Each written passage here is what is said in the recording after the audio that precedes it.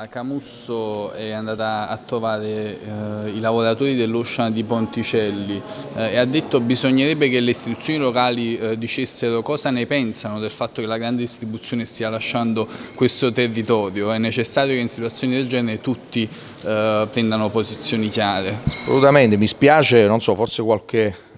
non gli hanno rappresentato la posizione che sin dall'inizio, non a distanza di giorni, ha avuto l'amministrazione comunale in difesa dei lavoratori, ma dico di più, non è solo la solidarietà. L'assessore Panini su mia indicazione il giorno stesso della bruttissima notizia che è venuta da Ocean che lasciava via Argine a Ponticelli a Napoli, l'assessore Panini ha incontrato le lavoratrici e i lavoratori e lo stesso io nei prossimi giorni ho un, in programma un incontro, abbiamo anche scritto, ho incontrato addirittura i rappresentanti dell'azienda, forse se si seguono un po' meglio le questioni cittadine anche da lontano ci si rende conto che la, almeno il Comune di Napoli è sempre molto vicino a tutti i lavoratori e le lavoratrici anche quando le vertenze non sono dell'amministrazione, quindi anche per Ocean noi faremo la nostra parte per quello che può fare il Comune, ma sicuramente esprimiamo disappunto per il fatto che una grande catena di distribuzione lasci Napoli, che è una città dove invece tantissimi stanno investendo, devo dire anche tanti napoletani, imprenditori napoletani che voglio ringraziare,